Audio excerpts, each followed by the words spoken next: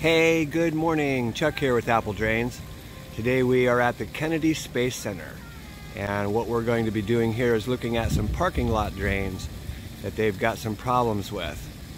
If you've never been to the Kennedy Space Center, you really should come and take a look. Really cool place. Let me show you around. Hey, good morning. Chuck here with Apple Drains.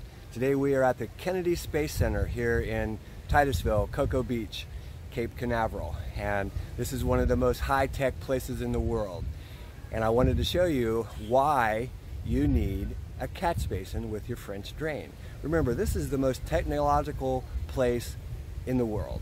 And they've called us out here because they've got an issue with water and the French drain is not accepting that water. And of course, they do need some catch basins. Let's take a look. So basically they've got a couple areas that have some problems. Right in here, um, you can see how this slopes right by their main entrance. And when it rains hard, water is pooling up. It does come across and there is a storm drain right over here.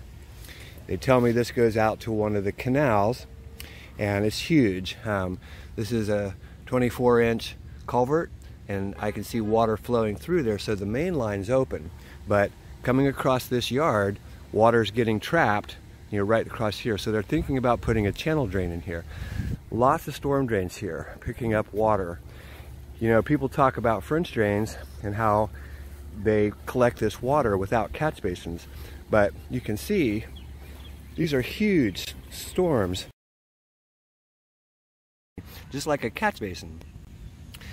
Water, surface water, must have an inlet.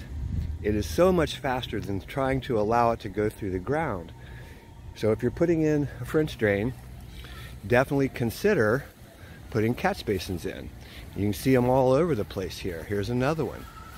And they've created a swale, a low spot for that water to go. You can see they've got a little four inch line coming into this one and that is a French drain. So there is some gravel perforated pipe out here or EZflow they use a lot of that down here, but the immediate surface water is collected by storm drains. We've got a lot of issues here with irrigation. You can see all the irrigation. This place is huge and they've called out a professional company to solve the problem. More storm drains. Again, they're just like giant catch basins. You really need these to pick up surface water. What I'm doing is just kind of following the line and they say it runs out to canal way down at the other end. These pipes are big, they're 24 inches. And when it rains here in Florida, just like any place else, area is so flat, water definitely pulls up. You can take a look, you can see the growth. So this line runs all the way back to, there's a canal back there behind that flag. And from the complex itself, these lines all connect and there's storm drains all over the place here. So they all connect, you know, and they drain out to that canal.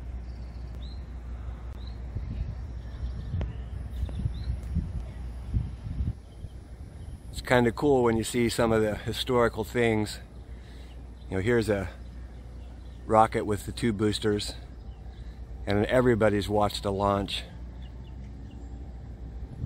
but back to the business at hand, you know, they've got a pretty good issue that's going on here. And it's a pretty simple problem.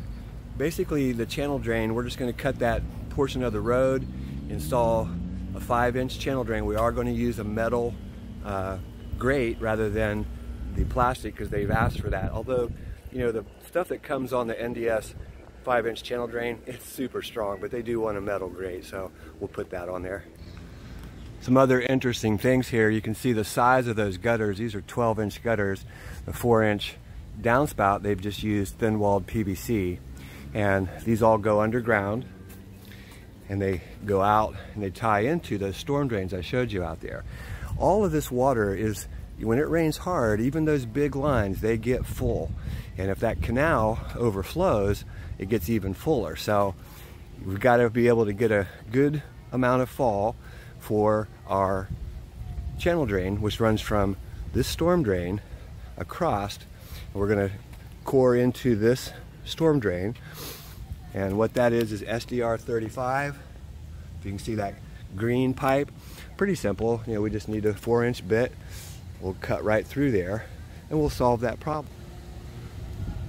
But to give you that example again, why you need a catch basin with your French drain, you can see we are at a huge complex. This is the Kennedy Space Center.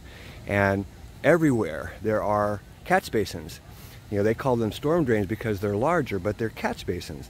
And this water, as water floods across the area, drops right down into that system and is carried away. If you don't put a catch basin on your French drain, it will work, but it will work much slower. You can see another one over here. And what they've done, let me step back, is they've created the low spot in their in this landscape. So the low spot's right over there by that storm drain. Can you see that storm drain over there? It's right there, and it's a low spot. So it picks up that water directly. Here is a 12 by 12 NDS catch basin. And again, it's picking up that water as it, not so much from here, but as it travels along the concrete, the walkway, it drops into that basin. And you can see, I can see where they trenched this. If you look closely, it runs over and it's going to make a 90 right here. And it comes over to this and there, there is the four inch pipe. Even out here right by the main entrance, you can see there's catch basins. Just because we're walking across asphalt, the same thing takes place in your yard. You need to have immediate surface water collection, and that's what catch basins do. You can see we're right by the main gate to go into the complex. This is the main entrance into the complex, and when it rains hard, they have water that's about an eighth of an inch deep that covers all of this pavement, this asphalt. It is very important for them to move this water. It has to be moved, and a French drain's not going to do the trick. They need catch basins all over the place. Remember, it's just 9 a.m. and they're just opening, and you can see all the tour bu all the tour buses that have just pulled up, and within an hour, this place will be full of tour buses. Each bus holds what, 40, 50 people, and you can just imagine this place is packed. Whether it rains or shines, it makes no difference, and they've got to solve that water problem. So out here by the tour bus parking area, this is just one of many and you can see them, they're all parked way in the back over there. I don't know if you can see, there's hundreds of tour buses here. This is just another section. This area, I've been told, floods really bad. They gave us some plans of you know where the certain where storm drains are, but there's nothing over here. And there are some parking lot drains, you know, in the parking lot. There are also catch basins. They're just much bigger. But what they need is some type of collection for this area as it floods. And I propose the sump pump here because it works far better than gravity. Yes, you got to have power, but I mean, we're at the nation's, in fact, the world's most technological place, and they understand that sump pumps work better than gravity. Just more tourists coming in and not don't know where they're coming from. They look like they might be from India actually. Pretty cool. Visiting Florida and it's a really a neat place you guys. I hope that you all come down sometime. Just a few more rockets from the early 60s. I really urge you guys if you ever get the chance and you're down here, kind of costly to come in this place but well worth the time and the experience, learn some history. So here in the courtyard of the main entrance, you can see over there is the main entrance and you can see some of the old rockets that were used back in the 60s to go on up and take a look around, go to the moon, around the moon, things like that. But what we're out here to do is to help solve some of the drainage issues. And you can see they've got a whole bunch of catch basins. There's one here, there's another one over here, And the catch basins are working great. They've actually come and they've regraded the area so that all the water slopes to that low spot and it's working good.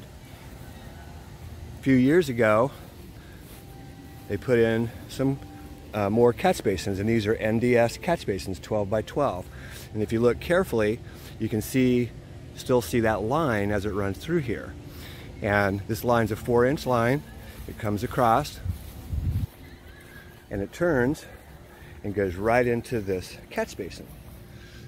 You see that line down there?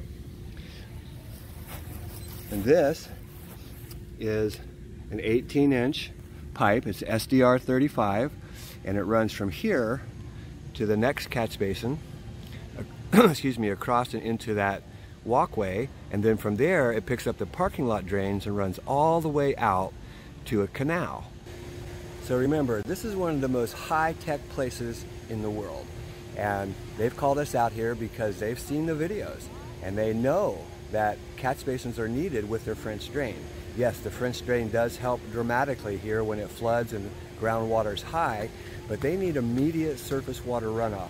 Too many people, take a look, too many people walk through the area and it's not crowded now, it's just 9 a.m. and they're just opening up. But look at all the tourists. When this area floods, they have a real problem. So what they've decided to do is to put in some more catch basins. We're going to be working all over the place.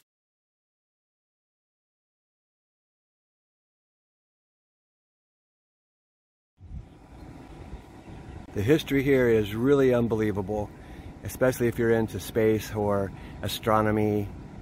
It is so cool. We're at one of the most technological advanced places in the world and they've called us out here because they know that catch basins are needed to move immediate surface water. Hey, this is Chuck with Apple Drains reminding you that if you believe you can do something, I guarantee you can do it. Have a great day.